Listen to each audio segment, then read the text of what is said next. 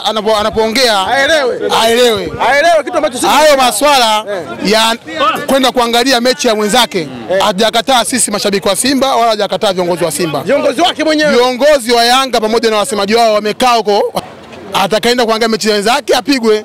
Sisi hatuwapigi bwana. Ni taarifa walitoa ile. na sisi- na sisi- na- na- Ndio maana sisi tunawapa taarifa mapema. Tunaambiaje mashabiki wa Yanga wakija, hatuwakatazi kuja kuangalia mpira.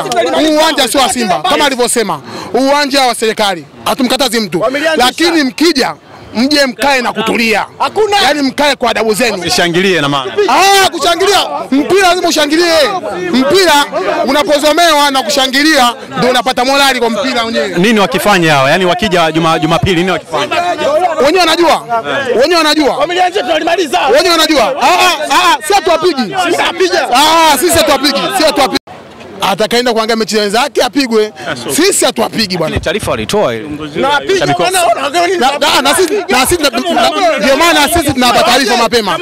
Tunaambiaje mashabiki wa Yanga? wakija, hatuwakatazi kuja kuangalia mpira. Huu uwanja sio wa Simba. Kama alivyosema, uwanja wa serikali, hatumkatazi mtu, lakini mkija mje mkae na kutulia, Hakuna. yani, mkae kwa adabu zenu. Shangilie na maana. Ah, kushangilia mpira lazima ushangilie. Mpira unapozomewa na kushangilia ndio unapata morali kwa mpira wenyewe. Nini wakifanya hawa? Yani wakija Juma Jumapili nini wakifanya? Wenyewe wanajua, wenyewe wanajua, wenyewe wanajua. Ah, ah, ah, sio tuwapigi, Ah, sisi hatuwapigi, sio hatuwapigi.